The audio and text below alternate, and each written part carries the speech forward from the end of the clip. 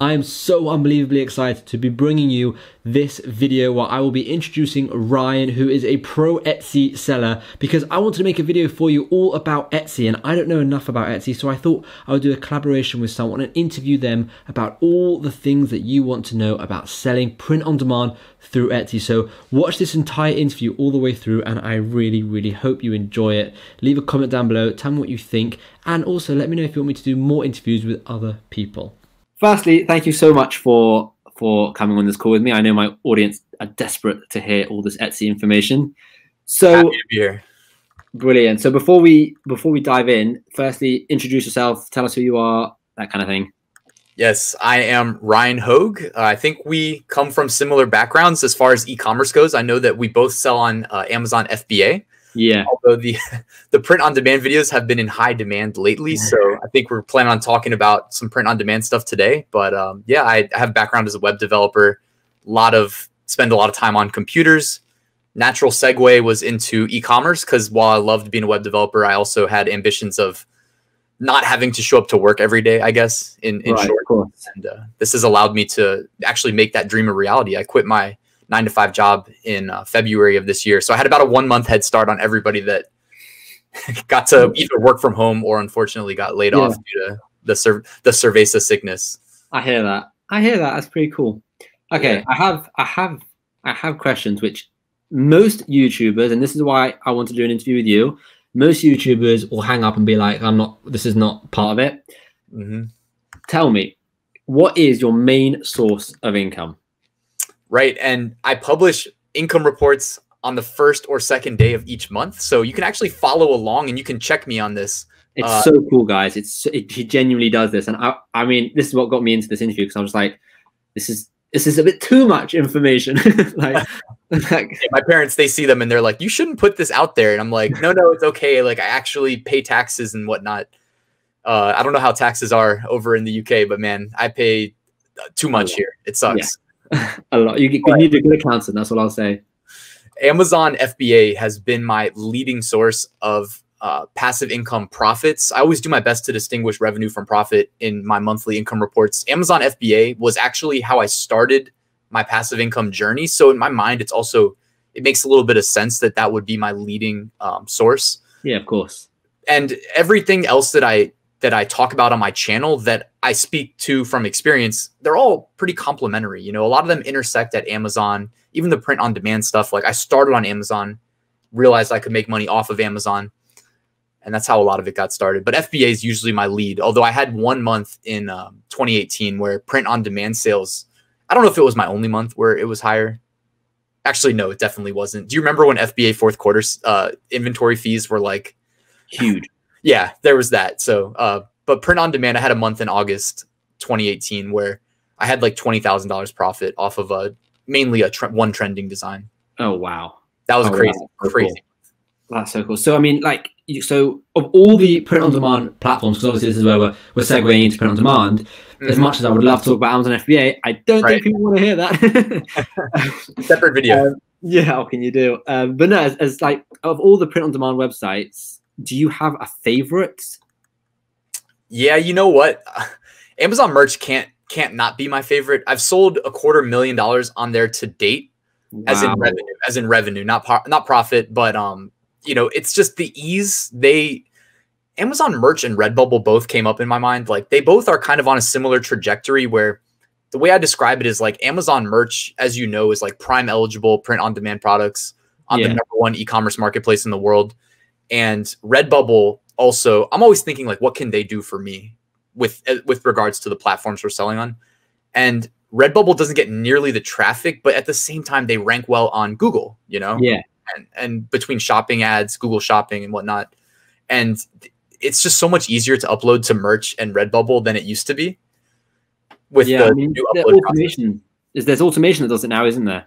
Well even without the automation you know what i mean like you can kind of like upload one design and it just puts it on all the products oh wow yeah yeah exactly and you got to change them all and, and i was on both platforms prior to that so when i always think about how much time i used to spend with the manual uploads before then they changed the process and then now i've got automation to yeah. do it for me but so I mean, I like those. Also, Printful Etsy's great. I know we were going to talk a little bit about that.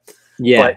You know, maybe like preview. Um, I've had some some problems with uh, Etsy's. Well, no, I mean that's the thing. I want to. yeah, I mean, we were just like talk, you telling me earlier about your problems with Etsy, and that's another thing. I, I that's what I like about these kind of videos is I don't just I don't just want to tell everyone how amazing Etsy was for you.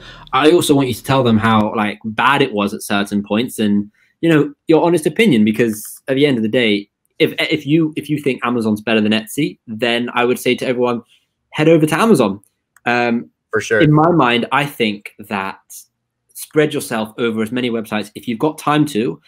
Be on Redbubble, be on Teespring, be on Amazon, be on Etsy. Um, mm-hmm. There's no reason why not to, because you can't. You can use your same design on all these platforms. That's absolutely fine. They're your designs.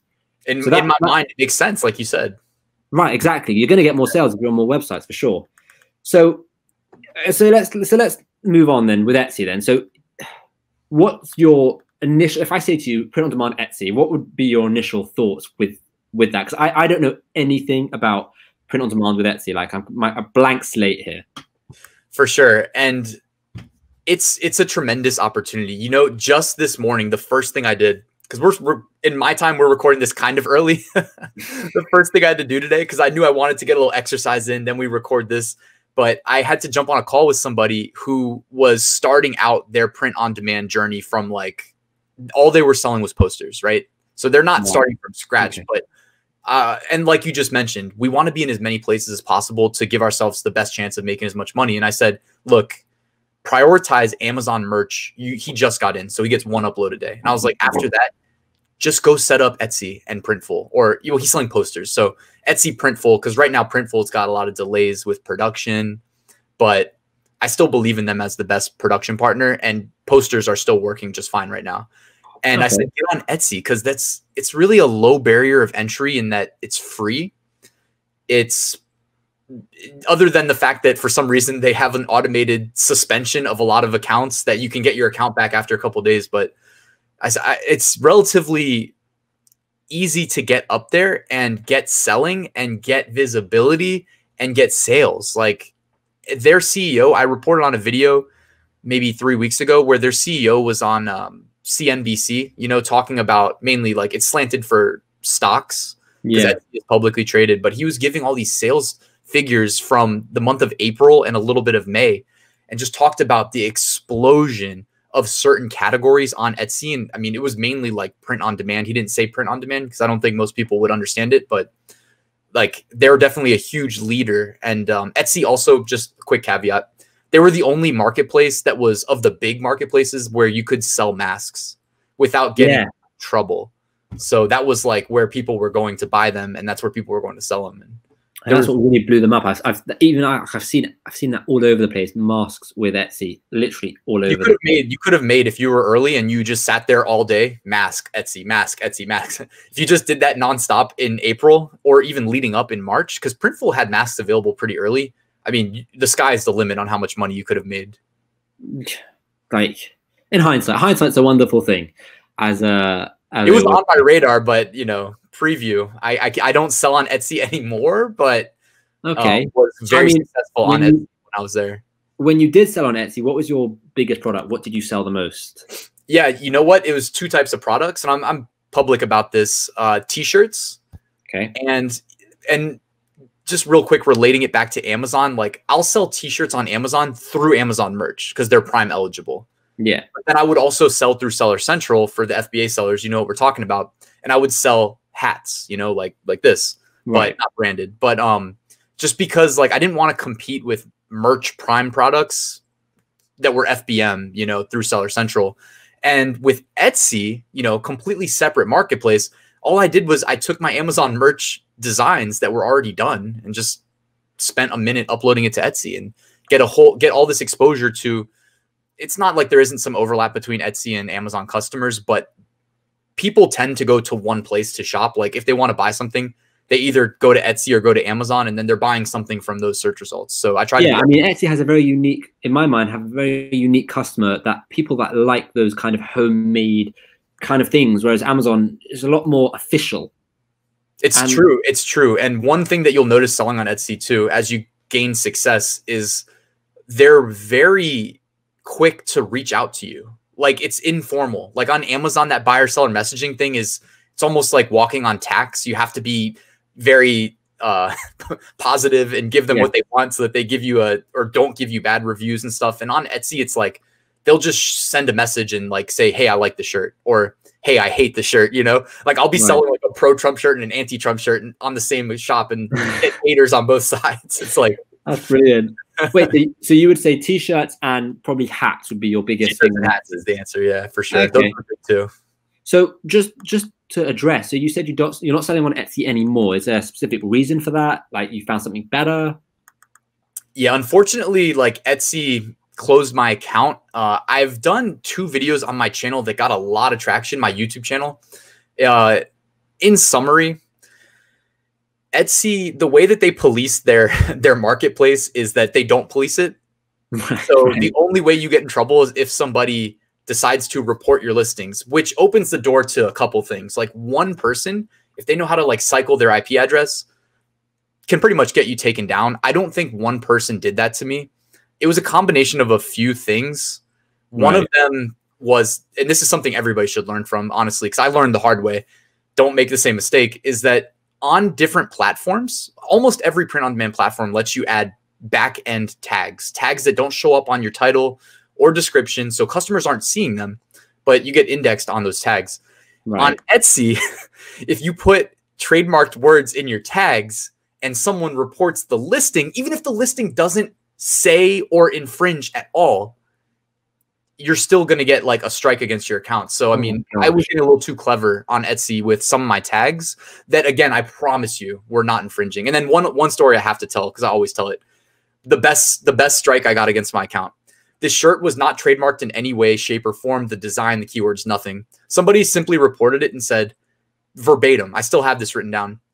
I have a little list of the, the ways I got the strikes in case I ever want to rant about them because I can't let it go. But the guy just said my friend made this design and uploaded it to represent.com two weeks ago. That's all it said. No proof, nothing.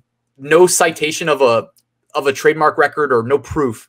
Are you serious? And I just got another strike. Yep. So it's it can sometimes be that simple.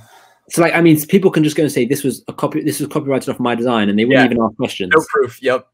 Yeah. That's scary because I mean I know I know Amazon do a lot of Amazon do a lot of research into it. It's a serious like thing when you do a copyright strike. Um, oh, that's just yeah. annoying, though.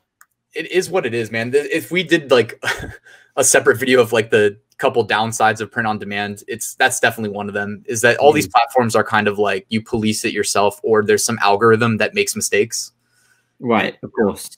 I mean, and that's another reason not to put all your eggs in one basket with one platform. Spread yourself so that if one platform goes down, you have another one because you don't want to give up your entire income source just because yeah. you know some you know person says you copyrighted them and made it up. So yeah. that's super annoying. Okay, fine. Well, look. Let's say you still want to go on Etsy, even though you've been warned. I mean, look, Etsy can still work for some people, in my mind, if you really, really want to do it. I wouldn't personally say you should focus on Etsy. I say you should focus on multiple, but if you are just for some reason focusing on Etsy, what would you say? Like, if you're talking to someone who literally just wants to focus on Etsy and they ask for like three pieces of advice to, you know, get more sales or I mean, you made a serious amount of money on Etsy. So like, I mean, how? Like, what, what would you tell them to go and do? Obviously, yeah. all in the, you know, the law. Yeah, let me plug too. I have a video that I put together. Yes, go watch this. It'll be the, Bottom It'll be in the description. It will be in the description, guys. Go and watch this video. It's a brilliant video. 100% yeah, just on my YouTube channel, so it's completely free. And uh, when I put this together, it's like 45 minutes long. But I was like, this video is going to get a million views, and I think it's currently at 9,000. So let's at least bump that up to like 10,000. uh, it's a huge just knowledge transfer of from me like learning the ropes about Etsy over the course of I think two and a half years. I think I was on Etsy uh, and then just giving it to you all in all at once of all the best practices because it's really just hitting the fast forward button. Like at the end of the day, these are all things that in my mind, like it's like Etsy saying, "Hey, we'll make you successful. Just kind of play ball, you know, do these right. things like." make a good thumbnail use keywords correctly don't make the mistake of putting trademarked words in your in your tags like run a sale you know simple things like set up your shop add the production right. partner correctly. Like I'm listing off things. A lot of them are just one-time things. Once they're done, you move on. You never have to revisit them. So um, yeah, okay. the video that I have is is definitely like a it's a how-to with screenshots and everything you need to to really crush it on Etsy. Well, I mean, in my mind, I would just tell everyone who's watching now, as soon as this video is over, go and check out that video. And I mean, it's it's, it's got everything you need. So I'm going to end pretty much with one last question, um, and that would be, in terms of so I know how to market a lot of platforms. So in terms of Etsy marketing, did you run ads or did you literally just do all organic the entire time? Yeah, so I didn't run ads off of Etsy. I mean, I could probably talk about this topic for another 20 minutes. So I'll try to keep it brief. Like when I had mm-hmm. my big month in 2018, $20,000 profit, I was running ads like everywhere, just thinking like not not just at, on Etsy ads, but like off of Etsy ads to Etsy and just trying right. everything because I was like, I know this is a winner. So if I can find success here, then I know I can probably do it elsewhere. And you know that's one area of expertise that you have that i'm not going to pretend to have with as far as running off of the site ads and bringing people to the site um, right. i did advertise on etsy the same way that like i always talk about advertising on amazon or advertising on ebay oh so they have their own advertising platform you can actually advertise on their website yeah but a quick caveat this is why i was going to say i could talk about it for so long is that they changed it in um, it was either October or whatever the month before October is, September uh, 2019, where they did a whole overhaul. They used to call it Etsy promoted listings. Yeah. And then they switched it to Etsy uh, Etsy ads. And when they did that, they screwed over every seller overnight without even telling you. Like they told no you coming, but they didn't say like, I don't know, maybe they did, but they should have at least sent people an email. Hey, we're live because what I did was we could control our bids. So I would just bid like, you know, naturally it's like suggested bid 75 cents. I'm like, okay, I'm coming in under 10 cents. Let's see what happens. And right. it was working. So I just advertised all of my listings. They made it easy to do like an on off switch, just select all because I had over a thousand t shirts and hats. Wow. I just promoted them all with low ball bids and it was working brilliantly. And then overnight, and I so I would set my daily budget like really high, like 60, 70, 80 bucks a day. Because if I spent it, that was good. Right. Um, and then overnight they they changed it and you lost the control of your bids but your daily budget stayed the same so then all of a sudden your cost per clicks are like 50 60 70 cents oh and God. they were just spending the budget every single day and uh, it even got worse from there i mean in summary they also automatically opt you in now to um, what they call offsite ads where then you're gonna have to i mean technically it's like if you sell $10000 in a year you're auto opted in, but like that's a low bar, you know? Yeah. And, I mean, you wouldn't even recommend doing Etsy ads at this point then because it's a bit expensive. Right, right. Yeah. Any any of my content that I put out there, my my official stance is like stay away unless you really know what you're doing and you have a lot of time and attention to dedicate to making sure you stay profitable. Or you're just if you're selling a very expensive item and then I mean your profit margin's there, but if you're selling a twenty dollar yeah, t-shirt, you just you don't have profit margin there to to you know spend a dollar on ads. Um, yeah. But I mean, you reckon just the organic search of Etsy is big enough for someone to actually get many sales, or is it just like? Yeah, that's the thing. Um, when I, I mentioned like I did a video just talking about their CEO, and he came on and like their year over year, they always kind of make some data available. They're growing so fast, and like the last time I just randomly looked at their stock price, like it's reflected. They're at all time highs. It's even though they don't treat their sellers very well, like they're they're getting a growing customer base and it, for sure like you can make organic sales. Like i was mentioning earlier like kind of alluding to you got to play ball. So the way that they uh, show your your listings and search results it's not like amazon where the listing reviews get shown. They show your shop reviews. So right. you have to keep customers happy because one bad review on one product out of a thousand gets reflected across the board. Yeah. Right. So oh, wow in my mind, it's like win the battle in search results. You know, search, find, buy. Like show up in the results. There's things you can do. Like you can renew your listing early. Normally, it's quarterly renewals. Right. Every time your listing renews, it boosts where it ranks. It's it's weird that they do that, but okay. every time it renews, they make money, so it makes sense. Um, also, every time it sells, it makes money.